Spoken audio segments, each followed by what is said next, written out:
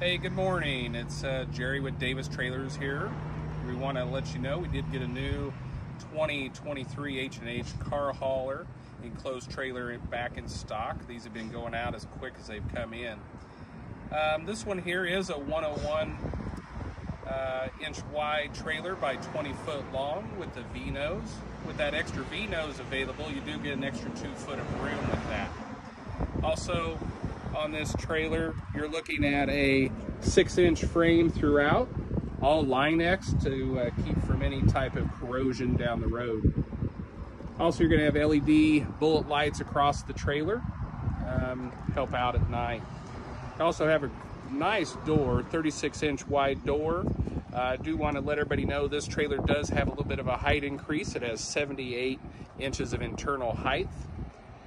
Also, as you can see, all the sidewalls have no rivets. It's rivetless, um, which really helps the overall look and appearance of the trailer.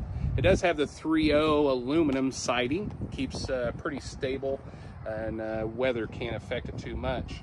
Uh, back to your door, you do have an RV style latch, uh, two keys so you can lock it, unlock it from outside or even inside if you need to stay in there overnight. Uh, when you get to the axle portion of the trailer, this has dual 5,200 pound axles. Both have electric brakes on both axles. Um, you do have the easy hub greasing capability, uh, so that makes it nice and easy. On this trailer, we did put in PosiVent systems uh, on the bottom rear and the driver's side in the front to make sure people can uh, get that unwanted gasoline smell out from any type of motor vehicles you have in there. As we get around to the back of the trailer, it's got an awesome, tough rear ramp door.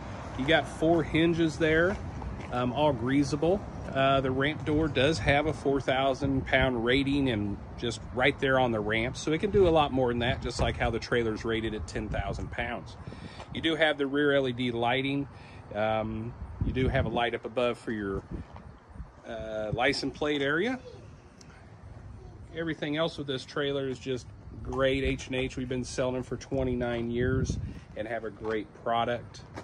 As you can also see around the outside back edge of the trailer, it does have the bullet lights for at night and also it does have rhino lining um, or Line-X around that edge.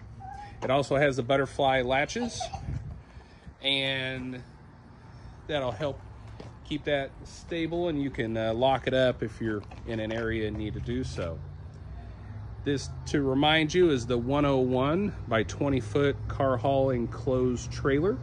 Um, that rear gate, just to make sure I get this uh, for you, does have a 77 inch or so height.